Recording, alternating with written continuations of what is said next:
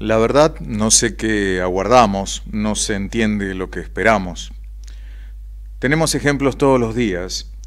El cambio climático llegó para quedarse y si no hacemos algo rápido, las consecuencias serán irreversibles.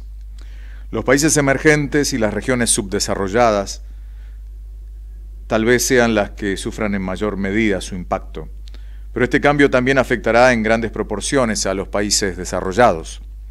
El deshielo de los polos aumentará a un nivel incalculable a los océanos, haciendo peligrar a muchas de las ciudades más importantes del planeta. No es ciencia ficción, no es un film. Muchas ciudades pueden quedar bajo el agua. Solo basta mirar imágenes recientes de Groenlandia que están en las redes sociales, por ejemplo, donde había hielo, hay agua, o los glaciares patagónicos como el Uppsala, en nuestra región justamente eh, patagónica, los cielos continentales, que sigue retrocediendo, dejando el testimonio de rocas talladas por sus hielos, ahora retraídos hasta límites insospechados.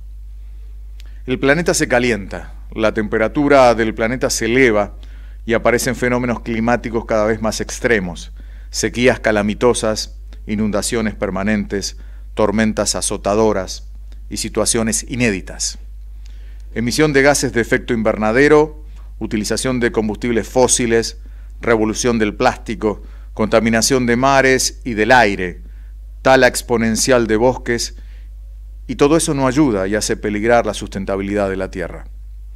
Hay algunas acciones y medidas que buscan revertir este escenario, pero suele ser inconexas, voluntariosas, muy lentas. Para problemas globales necesitamos soluciones globales. No podemos quedarnos sentados esperando que llegue un milagro.